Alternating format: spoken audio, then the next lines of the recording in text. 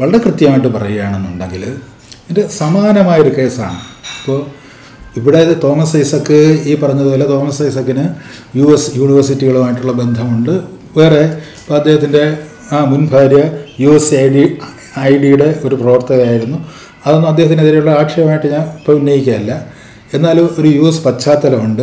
അദ്ദേഹം അദ്ദേഹത്തിന്റെ പുസ്തകത്തിൽ വിമോചന സമരം ഒരു വലിയ വിജയമായിരുന്നു എന്ന് സ്ഥാപിക്കുവാൻ വേണ്ടി ഒരു വൃഥാശ്രമം നടത്തുന്നുണ്ട്.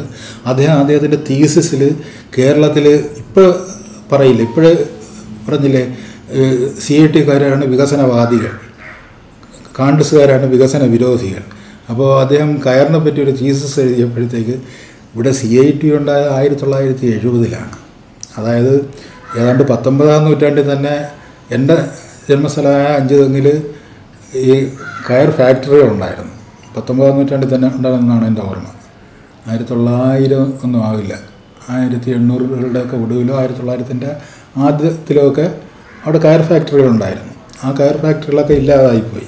കയർ ഫാക്ടറികൾ ഇല്ലാതായി പോകുന്നതിന് പ്രധാനപ്പെട്ട കാരണം എന്ന് പറഞ്ഞു കഴിഞ്ഞാൽ ഒരു ഇതിനേക്കാൾ ഒരു ഒരു കുടിൽ വ്യവസായത്തെ പോലെ പിടിച്ചു നിൽക്കാൻ ഈ കയർ ഫാക്ടറി വ്യവസായത്തിന് കഴിയാതെ പോയൊരു സാഹചര്യത്തിലാണ് കയർ ഫാക്ടറികൾ ഇല്ലാതായി പോയത്. പക്ഷേ മഹാനായ ടി എം തോമസ് ഐസക്ക് അദ്ദേഹത്തിന്റെ തീസിസിൽ എഴുതി വെച്ചിട്ടുള്ളത് ഇവിടെ ആയിരത്തി തൊള്ളായിരത്തി എഴുപതിന് ശേഷം രൂപം കൊണ്ട സി ഐ ടി യു എന്ന് പറയുന്ന സംഘടന സമരം നടത്തിയത് കൊണ്ടാണ് ഇവിടുത്തെ കയർ വ്യവസായത്തിന് തകർച്ച ഉണ്ടായത് എന്ന് എഴുതി വെച്ചിട്ടുള്ള ഒരു ഗവേഷകൻ കൂടിയാണ് അദ്ദേഹം. അപ്പോൾ അദ്ദേഹം ഈ ഇവിടെ ഇരുന്നു കൊണ്ട് ജനങ്ങളോട് സത്യം പറയാൻ ബാധ്യതയുള്ള ഒരു പ്രസ്ഥാനത്തിന്റെ ഭാഗത്ത് കടന്നു നിന്നുകൊണ്ട് ഇത്തരത്തിൽ ഈ ബാക്ക് ഹാൻഡഡ് ആയിട്ട് ഇത്തരത്തിലുള്ള പദ്ധതികൾ കൊണ്ടുവരികയാണ്.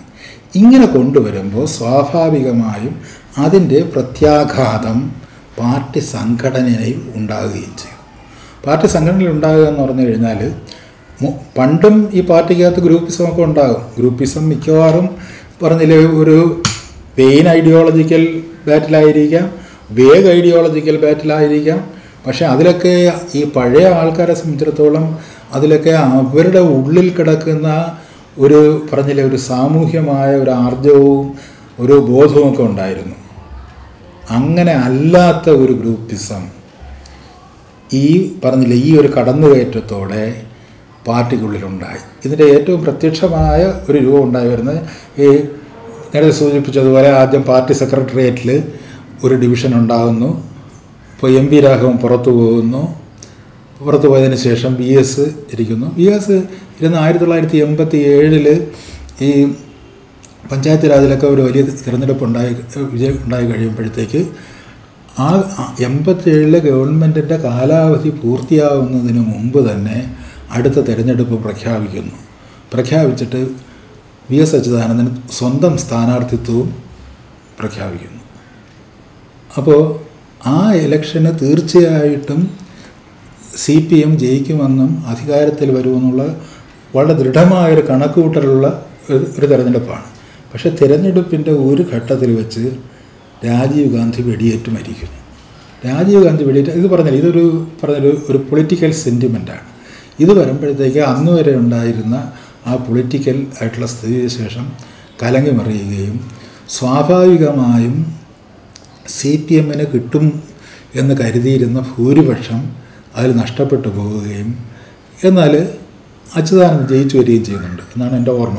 ആ ഇലക്ഷന് അച്യുതാനന്ദൻ ജയിച്ചു വരികയും ചെയ്യുന്നുണ്ട്. അച്യുതാനന്ദൻ പ്രതിപക്ഷ നേതാവായിട്ട് മാറും. അത് കഴിഞ്ഞതിന് ശേഷം അപ്പോൾ എന്തിനാണ് കാലാവധി തീരുന്നതിന് മുമ്പ് ഇലക്ഷൻ നടത്തിയത്? ഇത് ഇപ്പോഴും ഇലക്ഷൻ നടത്തിയാൽ നമ്മൾ ജയിക്കും എന്നുള്ളതുകൊണ്ട് കാലാവധി തീരുന്നതിന് മുമ്പ് ഇലക്ഷൻ നടത്തി ഇലക്ഷൻ നടത്തിയിട്ട് തോറ്റു. തോറ്റിട്ട് എന്ന് വെച്ചാൽ വേണ്ടത്ര സീറ്റുകൾ കിട്ടിയില്ല.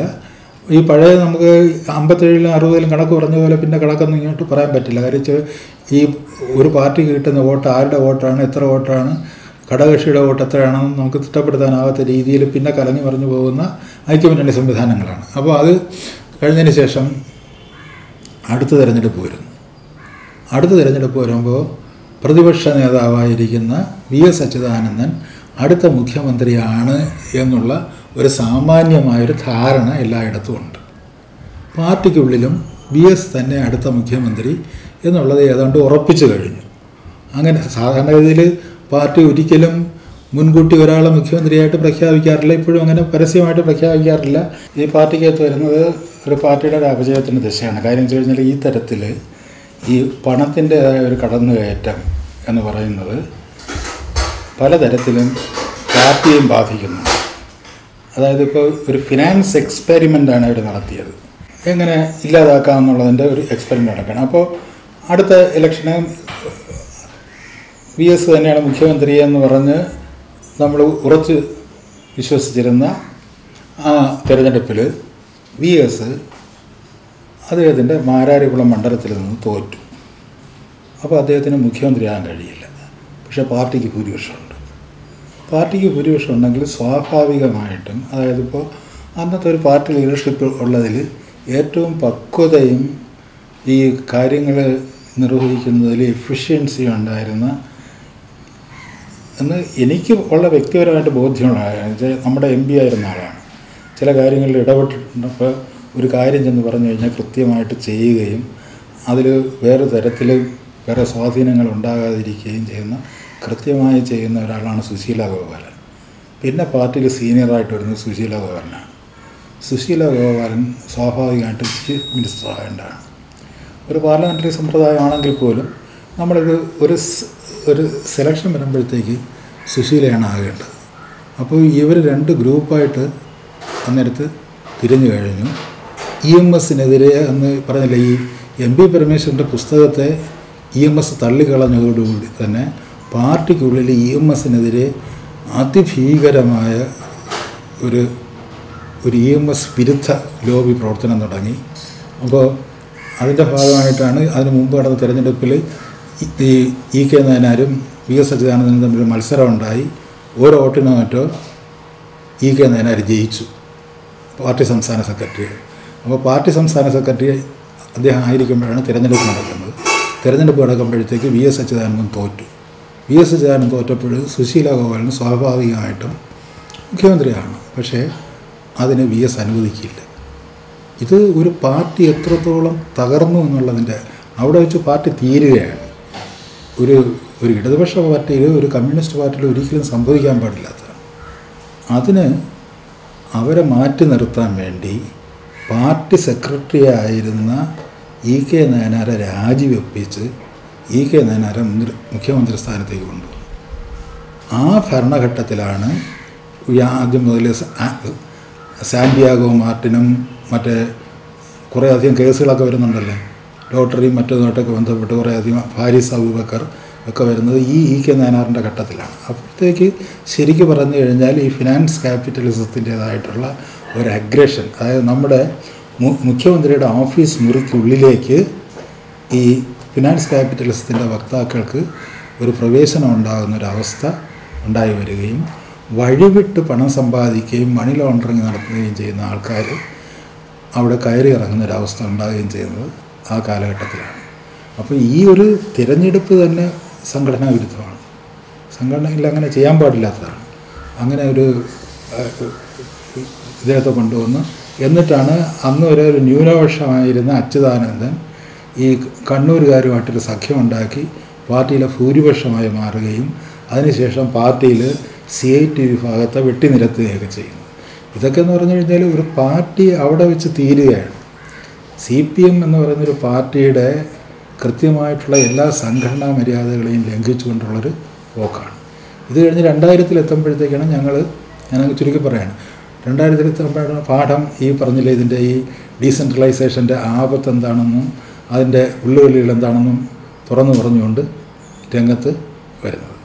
അപ്പോൾ അത് വന്നു കഴിഞ്ഞതിന് ശേഷം പിന്നീട് ഈ പാർട്ടി സംബന്ധിച്ചിടത്തോളം പാർട്ടി ഒരു പ്രതിസന്ധിയിലാകുകയാണ് കാര്യം വെച്ച് കഴിഞ്ഞാൽ ഇവിടെ ഇദ്ദേഹം ഇത് ചെയ്യുമ്പോഴത്തേക്ക് ഞാൻ നേരത്തെ പറഞ്ഞിട്ടുണ്ടെന്നതാണ് ഇവിടെ തോമസ് ഐസക്കിന് ഇങ്ങനെ ഒരു ബാക്ക്ഗ്രൗണ്ട് ഉണ്ട്. യു ഒരു ബാക്ക്ഗ്രൗണ്ട് ഉണ്ട്. അദ്ദേഹത്തിന്റെ കുടുംബം യു എസിലാണ് അദ്ദേഹം മാത്രമേ ഇവിടെ ഉള്ളൂ. അതുകൊണ്ട് അദ്ദേഹത്തിന് വേറെ ബാധ്യതകളൊന്നുമില്ല. അതേസമയം ഇതേ ഇദ്ദേഹത്തെക്കാളും മിടുക്കനായ മറ്റൊരാളുണ്ടായിരുന്നു. ആഷിൻ ദാസ് ഗുപ്ത എന്ന് പറഞ്ഞ west west Bengal finance minister. അയാളൊരു യു എസ് യൂണിവേഴ്സിറ്റി ഇരുന്നിട്ട് ഈ ജി എസ് ടിയുടെ കരട് പോലും അതിന്റെ ആദ്യ പ്രമാണങ്ങൾ ഉണ്ടാക്കുന്നതിൽ ഒരു സഹകരിച്ചിട്ടുള്ള ആളാണ് ഈ ആഷിം ദാസ് ഗുപ്ത. അയാളാണ് യഥാർത്ഥത്തിൽ തോമസ് ഐസക്കിനേക്കാളും വിദഗ്ധമായിട്ട് ബംഗാളിലെ പാർട്ടിയെ തീർത്തയാൾ കംപ്ലീറ്റ് ഫിനിഷ് ചെയ്ത് ഇപ്പോൾ ഇന്നലെ മിനിങ്ങാന്ന് വായിക്കുമ്പോഴത്തേക്ക് അവിടുത്തെ M L A B J P ചേർന്നു. C P M M L A B J P ചേർന്നു. എന്തുമാത്രം പാർട്ടി തകർന്നു പോയിരിക്കുന്നു എന്നുള്ളതിന്റെ ഒരു ഉദാഹരണമാണ്.